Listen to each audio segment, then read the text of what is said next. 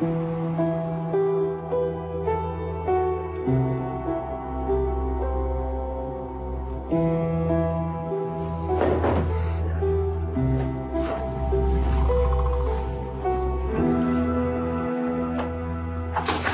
Kieran.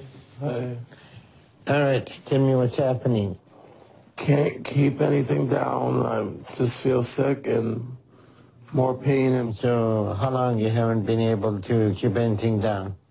since I've been home. I can only drink a little water. And nothing stays down.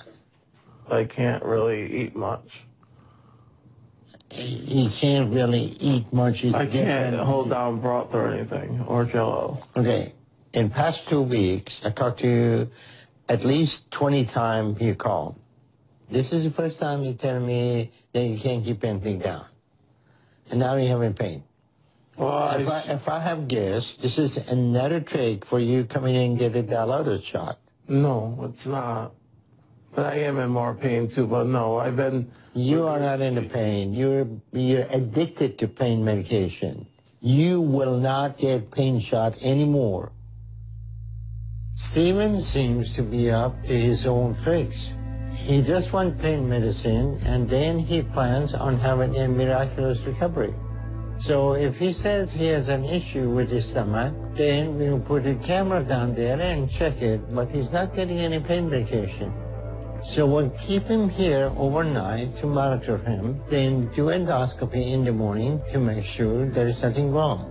But Steven is going to learn that there are consequences when he cries wolf. Can I go home today? We're going to do endoscopy on you tomorrow, make sure everything's okay before we send you home.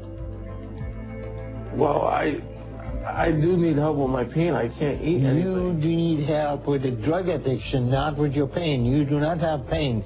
Anybody had surgery, two weeks after surgery, they don't have pain. You're the only one have pain.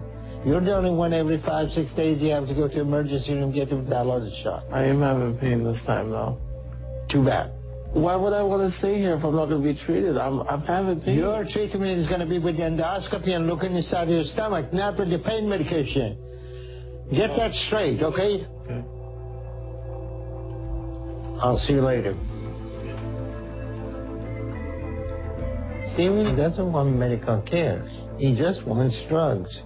But the only possibility is that the amount of pain medication Steven has taken over the years could have created an ulcer that is capable of eating to the lining of the stomach. If that's happening, it could kill Steven. So on the off chance that is the one issue he has, then we'll check him out because we have to be sure.